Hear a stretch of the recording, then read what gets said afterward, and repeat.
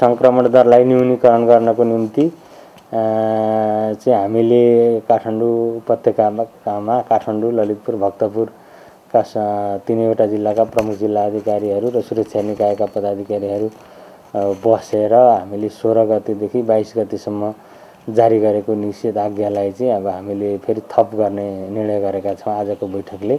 निसन्तान सम्बन्धी विभिन्न समस्याको सफल उपचार अब नेपालमै सम्भव छ। वात्सल्य नेचुरल आइभीएफ यो चाहिँ अहिले अब हामीले तेइस गते बिहान देखि लागु हुने गरी अब उन्तिस गतेसम्मलाई चाहिँ थप गरिएको छ। अहिले पछि पछिल्लो चरण फेरि एक हप्ता थप गर्ने निर्णय गऱ्यौँ र यसमा अलिकति हामीले पहिलेको भन्दा अलिकति केही मोडालिटी पनि परिवर्तन गरेका छौँ। अब यो सङ्क्रमण दर अझै तीव्र रूपमा बढ्दै गयो। यसलाई चाहिँ हामी सबैले चाहिँ यो निषेधाज्ञाको पालन गर्नुपर्ने हाम्रो दायित्व हुन्छ कर्तव्य हुन्छ।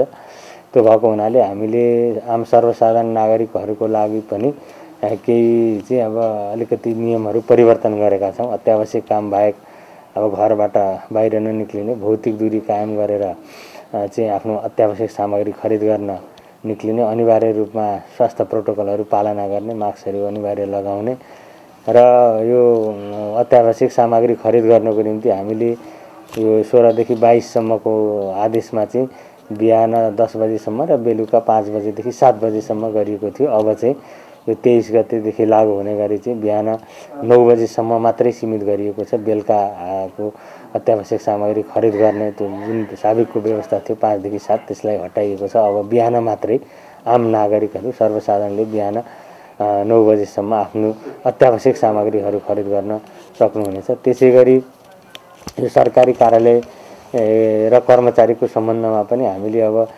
मन्त्रालय विभागको हकमा चालिस पर्सेन्ट कर्मचारीले मात्र कार्यालय सञ्चालन गर्ने व्यवस्था मिलाउन। हल्दी। हल्दी हनी तुलसी र इमलीको प्राकृतिक गुणहरूले भरिएको hundred percent natural immunity boosting herbal candy good लाइफको इमली हल्दी। र चाहिँ चाहिँ त्यहाँको सवारी साधनको हकमा सम्बन्धित मन्त्रालयको विभागीय प्रमुखले जारी गरेको सरकारी पासको आधारमा कार्यालय सञ्चालन गर्न दिने र कर्मचारीको हकमा पनि परिचय पत्रको आधारमा आवत जावत गर्न दिने भन्ने व्यवस्था मिलाएको छ।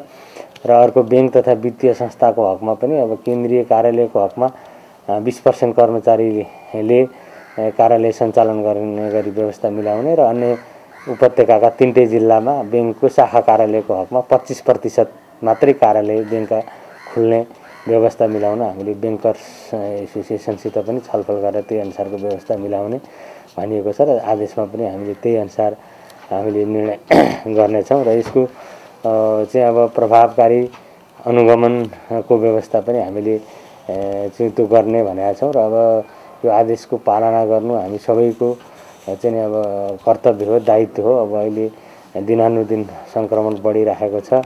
र अनुगमनको सिलसिलामा नेपाल प्रहरीले अब यो मास्कहरू नलाउनेलाई चाहिँ जरिमानाको पनि अब सुरुवात गरिसकेको अवस्था छ जरिमाना गरिराखेको अवस्था छ होल्डिङमा व्यक्तिहरूलाई राख्ने त्यो व्यवस्था गरिएको छ। अब यो थप अलिकति कडाइ गर्नुको कारण चाहिँ अझ भिडभाड चाहिँ हुन नदिने नै हो।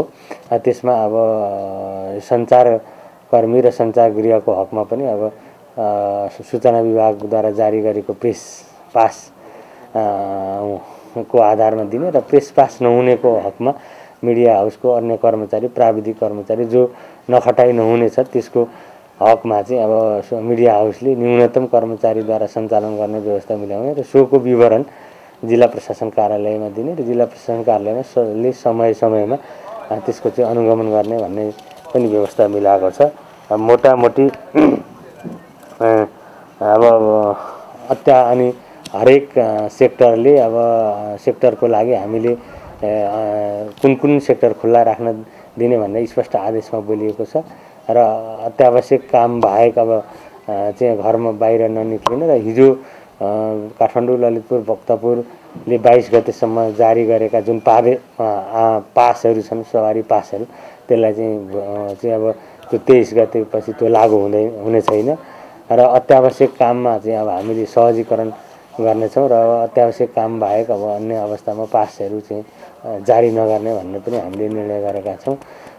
यही नै मोटामोटी यिनै हुन्। अब अहिले पछिल्लो चरणमा अब यो जस्तै जुन बजारमा चाहिँ अब अब कालोबजारीका कुराहरू कृत्रिम अभावका कुराहरू भइरहेको छ अहिले पनि हामीले घनीभूत रूपमा अनुगमन गरेका छौँ। अब त्यसको चाहिँ अब सबै महानुभावहरूमा चाहिँ म के अनुरोध गर्दछु भने जस्तै अहिले ग्यास सिलिन्डरको अभाव भइरहेको छ त्यो ग्यास सिलिन्डर चाहिँ अब व्यक्तिले अब कलेक्सन गरेर राख्नु भएको छ भने पनि अब त्यो सम्बन्धितमा फिर्ता गरिदिनु हो भने त्यो हामीलाई सहजीकरण हुन्छ। स्वास्थ्य मन्त्रालयले यस बारेमा आधिकारिक सूचना पनि जारी गर्नेछ। अब अहिले जुन अस्पतालहरूमा सिलिन्डरको अभाव भइरहेको छ ग्यास सिलिन्डर भर्नको निम्ति ग्यास छ सिलिन्डरको अभावमा त्यहाँ अक्सिजन नपाउने स्थिति छ त्यसलाई चाहिँ न्यूनीकरण गर्नको निम्ति ज जसको घरमा आम नागरिकहरूले चाहिँ ग्यास सिलिन्डर स्टक गर्नुभएको छ त्यसलाई चाहिँ फिर्ता गरिदिनको निम्ति म अनुरोध गर्दछु र जो डक्टरको प्रेसक्रिप्सनको आधारमा दमको बिमारी अथवा त्यस्तोको हकमा मात्रै राखौँ अरू त्यो बाहेक अरू फिर्ता गरिदिनको निम्ति अनुरोध गर्दछु र अब आम सर्वसाधारण महानुभावहरूमा चाहिँ जुन यो निषेधाज्ञाको कारणले पर्न गएको जुन असर छ त्यसको लागि चाहिँ हामी अब यो बाध्यात्मक अवस्था हो यसलाई चाहिँ त्यही अनुसार बुझिदिनको निम्ति र अब चेन ब्रेक भयो भने फेरि हामी सहज स्थितिमा पुग्छौँ र अहिले अब अस्पतालको अवस्था बेडको अवस्था अक्सिजनको अवस्था भेन्टिलेटर आइसियुको अवस्थाको कारणले नै अलिकति हामीले टाइट गर्नु परेको अवस्था हो। यो सबै समस्याहरूलाई बुझेर अब हरेक आम उपत्यकावासी काठमाडौँ जिल्लाका सम्पूर्ण महानुभावहरूलाई चाहिँ यो स्वास्थ्य प्रोटोकल अनिवार्य पालना गरिदिनको निम्ति म अनुरोध गर्दछु। उडानहरू पनि अब आज रातिदेखि बन्द भइसकेको छ। अब बाह्य उडान पनि तेइस गतेदेखि सबै प्राय बन्द हुन्छ। अब चार्टर उडान इमर्जेन्सी उडानको हकमा अब त्यसको सम्बन्धमा चाहिँ पर्यटन मन्त्रालयले आवश्यक समन्वय गरेर चाहिँ सहजीकरण गर्नेछ। यसको कारणले पनि अब यो यात्रुहरूको चाप अब त्यसपछि सडकमा हुने जुन गाडीहरूको भिडभाड अब त्यो चाहिँ नियन्त्रण हुन्छ भन्ने हामीले अपेक्षा गरेका छौँ। अब हामीसँग अहिले अब हामी जोइन्ट पनि बसेका छौँ। अब केही समस्या परेको महानुभावहरूले नेपाल प्रहरी ट्रा ट्राफिक प्रहरी सशस्त्र प्रहरी हामी नेपाली सेना सँगै छौँ। अब सब व्यवस्थापनको काम पनि नेपाली सेनाले गरिराखेको छ। ट्रा गा भेहिकलहरूको अनुगमनमा ट्राफिक प्रहरीले गरिरहेको छ। अनि समग्र सुरक्षा व्यवस्था यो अनुगमनको कुराहरू नेपाल प्रहरी र सशस्त्र प्रहरी र हामीले जोइन्ट रूपमै गरेको छ। अब हाम्रो टिमै बस्छ। केही आपद विपद परेको नागरिकहरूले त्यहाँको नजिकको प्रहरी इकाइमा चाहिँ सम्पर्क गरेर आफ्नो समस्या सुनाएपछि हामी सहजीकरण गर्ने गरिदिन्छौँ। तर आवश्यक अत्यावश्यक काम परि नपरि चाहिँ अब घर बाहिर ननिक्लिनको निम्ति र अनिवार्य रूपमा स्वास्थ्य प्रोटोकल पालना निम्ति म पुनः हार्दिक अनुरोध गर्दछु। धन्यवाद। बिहेको हकमा चाहिँ अब हामीले अब यो लगनको सिजन पनि छ। न्यूनतम अब एकदम थोरै मान्छेहरू उपस्थित भएर त्यो जुन हामीले साबिक व्यवस्था गरेका छ बिहेको ब्यानर राखेर दुईवटा गाडी एउटा बेलुका एउटा अर्को चाहिँ सात आठजना अट्ने गाडी त्यो पनि दुरी मेन्टेन गरेर चल्ने गरी त्यो ब्यानरको आधारमा चल्नको निम्ति हामीले त्यही साबिक नै व्यवस्था मिलाएको छ। त्यसलाई सवारी पास आवश्यक नपर्ने। अन्य सवारी पासहरू अब हामीले खाद्यान्न त्यसपछि चाहिँ नि अब यो अत्यावश्यक वस्तुहरू अब त्यहाँ सञ्चारकर्मी त्यसपछि अनि औषधिदेखि लिएर हरेक हकमा अब परिचय पत्र को आधारमा आवाज जावत गर्न दिने व्यवस्था मिलाएको छ। त्यो बाहेक अब जस्तै यहाँबाट अब काठमाडौँबाट बाहिर जानु पर्यो होइन मृत्यु संस्कारको निम्ति अथवा चाहिँ बिरामी लिएर जानु पर्यो त्यस्तो अत्यावश्यक पर्यो भने हामी जिल्ला प्रशासन कार्यालयले सहजीकरण गर्ने भन्ने व्यवस्था मिलाएको छ। अहिले तो त सबै को अवस्था नहीं हो? ब्याङ्क त